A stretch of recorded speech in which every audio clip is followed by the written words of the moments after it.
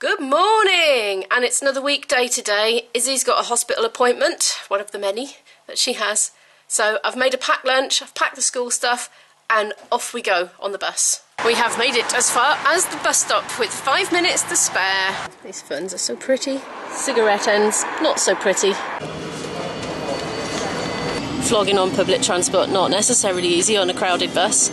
Anyway, we're on a stagecoach bus, and I got some news for you because they have just started to take contactless card payments. At the individual seats here, we've got USB chargers and a light. Izzy's going to attempt to do a RE work on the bus.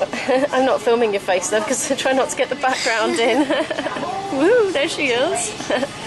Um, we had a little bit of a confusion about who had the paper pad, so she's having to write it on the back of the email from the tutor. And I'm going to tuck into my breakfast because I didn't have any before I left the house. Bus number one was five minutes late getting in, so we've just missed bus number two, but there's another one in 15 minutes, so it's not a disaster. We're on bus number two now. We've come to sit right at the back. We have arrived and we are three minutes early for our appointment, but by the time we get in there, we won't be. So we're done with that appointment. We're just in the canteen now. We've brought our own sandwiches to have lunch. That's allowed, luckily. Uh, good news Isabel has been more or less discharged from that one, just with an open letter to return should she need to. And we're back out again now. We've had our lunch and we're just waiting for the first of two buses home. We've got about five minutes to wait, I think.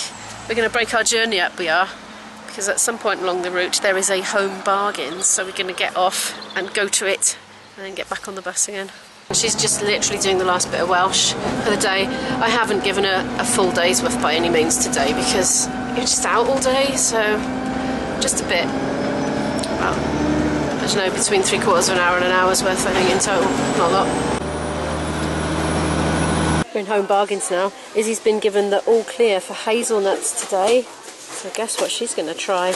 This is definitely not an aisle for the Jamesy Boy Experiment channel at the moment because they're trying to give up sugar. I'm apparently impulse purchasing this top twister for getting tops off things.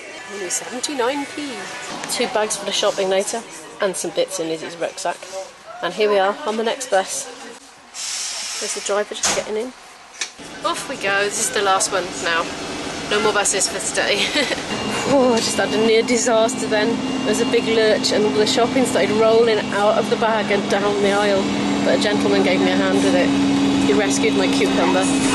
I'm back home. It's about 10 past three now. I've got the invisible boyfriend coming over later. He's coming to tea and we're going to have a, a chip shop tea tonight, which will be nice. I've got a cup of tea brewing over there. I've got some dishes to do and I need to practice my flute for tomorrow's gig and I might even have a little bit of a sit down first. Stranger things have happened. I'm going to end the vlog there. Thanks so much for watching. Please give the video a like if you liked it, comment down your thoughts below and subscribe for more adventures and I'll see you in the next one.